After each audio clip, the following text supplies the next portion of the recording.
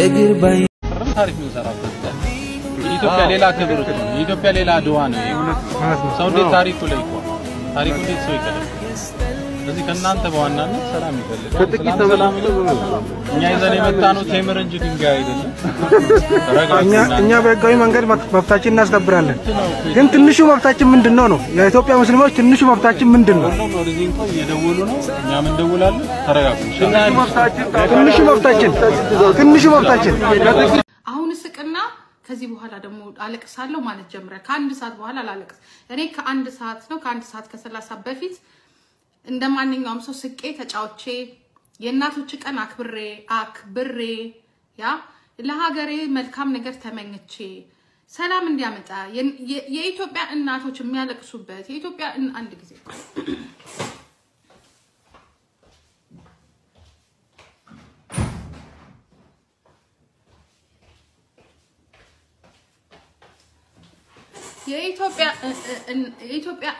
የኢትዮጵያ እናቶች የማያለቅሱበት የኢትዮጵያ አባቶች የማያለቅሱበት ብዬ አክብሬ ወጣሁ።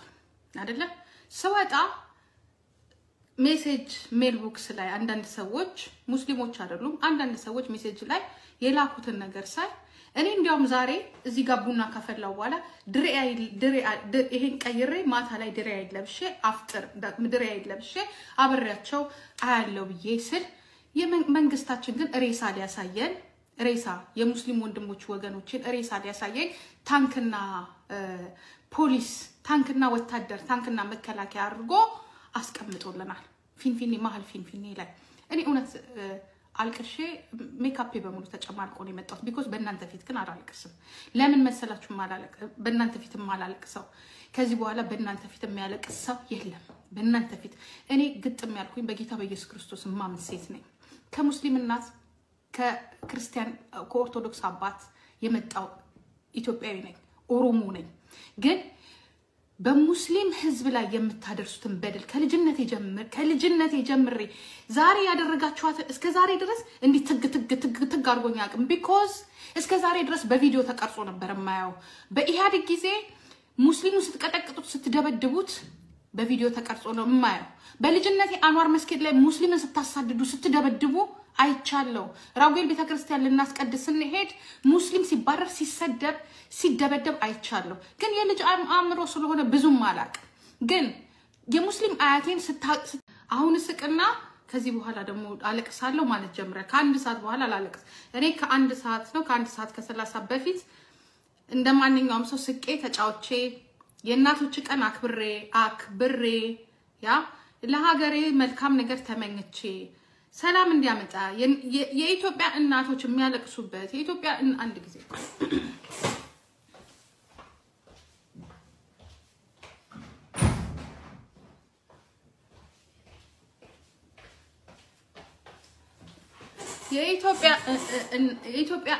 የኢትዮጵያ እናቶች የማያለቅሱበት የኢትዮጵያ አባቶች የማያለቅሱበት ብዬ አክብሬ ወጣሁ። አይደለ?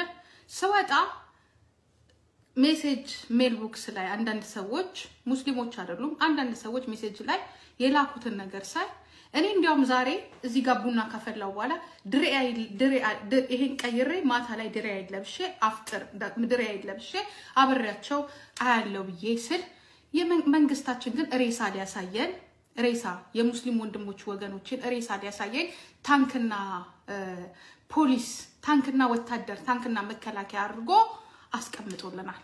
ፊንፊኔ መሀል ፊንፊኔ ላይ እኔ እውነት አልቅሼ ሜካፔ በሙሉ ተጨማልቆ ነው የመጣሁት። because በእናንተ ፊት ግን አላለቅስም።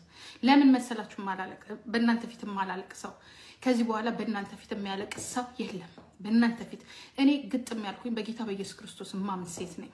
ከሙስሊም እናት ከክርስቲያን ከኦርቶዶክስ አባት የመጣው ኢትዮጵያዊ ነኝ፣ ኦሮሞ ነኝ። ግን በሙስሊም ሕዝብ ላይ የምታደርሱትን በደል ከልጅነቴ ጀምር ከልጅነቴ ጀምሬ ዛሬ ያደረጋችኋትን እስከ ዛሬ ድረስ እንዲህ ትግ ትግ ትግ ትግ አድርጎኝ አያውቅም። because እስከ ዛሬ ድረስ በቪዲዮ ተቀርጾ ነበር የማየው። በኢህአዴግ ጊዜ ሙስሊሙን ስትቀጠቅጡት ስትደበድቡት በቪዲዮ ተቀርጾ ነው የማየው። በልጅነቴ አንዋር መስጊድ ላይ ሙስሊምን ስታሳድዱ ስትደበድቡ አይቻለሁ።